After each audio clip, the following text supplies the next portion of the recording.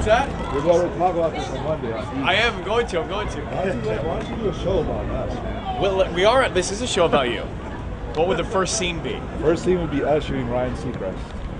That's not a best. One of the best ones. Your date's right here, Ryan. I know, what you got. Wait. Excuse us, date. All right, enjoy yourself. Take care. Thanks, Ryan.